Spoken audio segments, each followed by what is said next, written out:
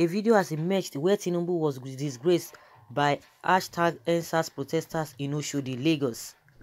Only News Nigeria reports that the video, which was emerged on the micro-blogging site Twitter on Monday, October 19, shows that shows the moment the national leader of the All Progressives Congress APC, Nigeria's ruling party, Bola Tinubu, was disgraced by hashtag EndSARS protesters in Oshodi area of Lagos.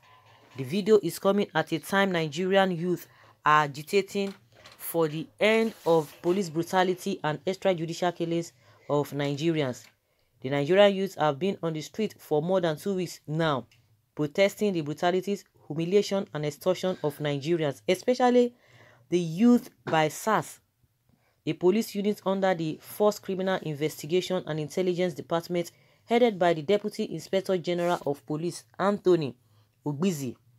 During the protest, the protesters demanded an end to the Special Anti-Robbery Squad, SARS, using a hashtag EndSARS.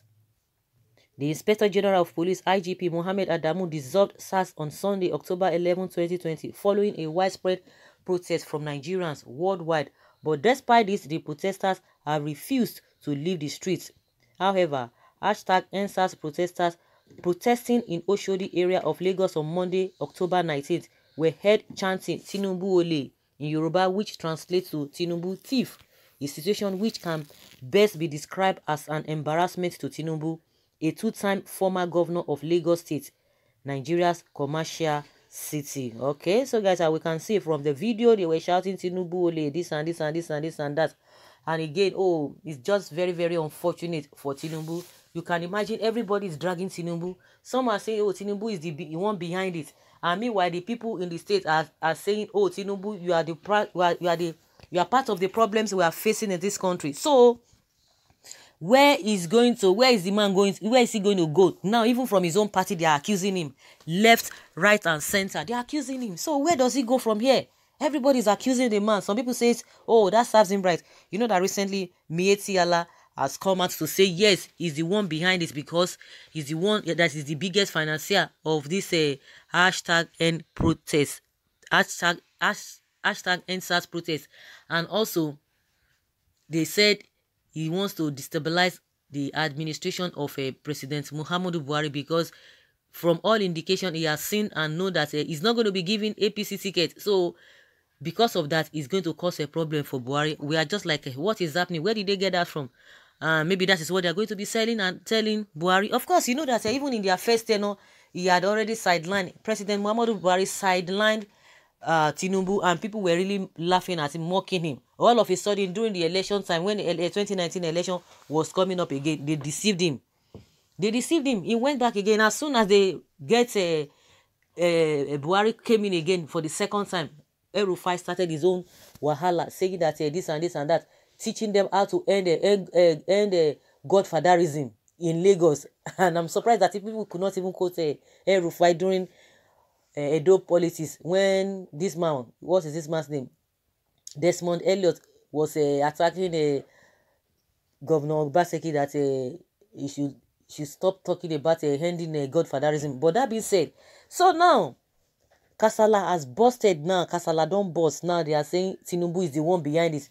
Some people are saying, oh, Tinubu, you are the problem. Some people say, oh, Tinubu, you are this, you are that. Everybody just dragging him. So he's not standing alone. I'm expecting his uh, spokesperson, Rahman Tunde, to come and tell us again. You know, it was one uh, university professor from University of Ibadan that first accused him of uh, being behind this uh, old hashtag, um, old uh, hashtag EndSARS, but they've come out to debunk that. So now that Miyetti Allah has said the same thing, so uh, let's hear what, what they are going to say. So everybody is dragging Tinubu left, right, and center. And some people says, oh, that serves him right. He went to form alliance with them, uh, thinking that uh, they are going to favor him. Now they are beginning to tell him that uh, he has no place uh, in Aso Villa come 2023. Well, he should be called a thief because he deserves it.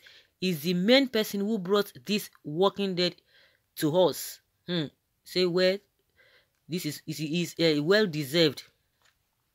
It is not it's not their fault. They are enjoying freedom of speech, which Tinubu fought for. Okay, this is the evidence that this rascality called EndSARS is purely PDP enterprises. Okay, continue.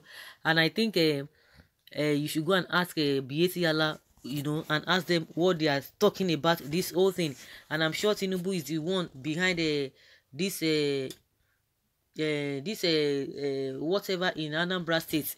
The man, this uh, SARS man that has been doing all manner of things in Anambra State. I know it is uh, the as uh, the PDP. When these people have failed in in all ramification, from all indications they have failed. Then they want to transfer it to Tinubu. you guys have been. They want to transfer it to PDP. Yes, they've been enjoying Tinubu all this while. So why coming out now to say otherwise? People from his own party now are still accusing him and you are saying that it is PDP. So let them begin to fight themselves. Let them begin to fight themselves. If this is going to take their disunity to cause unity and progress and development to Nigeria, so be it. So be it. So be it. Because from all indications, you would have seen that it's like these politicians, they have sworn that uh, Nigeria will continue to be the way it is so that they themselves will continue to manipulate the people. I don't just understand why people do not have conscience that want to be in power. Had they they even have what it takes to be in power to bring dividends of democracy to the people, it would have been a better thing. But they are just like, you know, eat alone, eat alone. But during election time, they will be promising you heaven and earth. At the end of the day, all now wash, all now scam.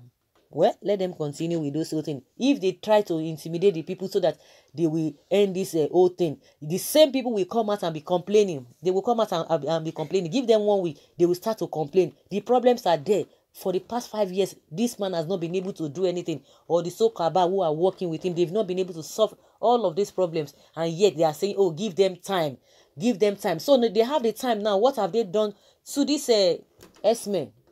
What have they done to them? The same thing if people come out to, to come out and begin to speak now, they begin to tell you another thing.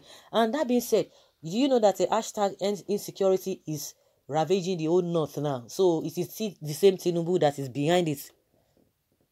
Well, and those people too, they are miscreants because those ones they be keeping quiet now. Now that they are coming out to speak their voice to say, we are not even talking about a hashtag EndSARS, we are talking about end insecurity. They will still come and say, you it is PDP, it is PDP, it is PDP. It's unfortunate that uh, the kind of people we are, we are living with in this country, they are very, very funny. Very, very funny people. It's unfortunate. So guys, uh, let us hear your opinion. Leave your comments below respectfully in the comment section. Thank you.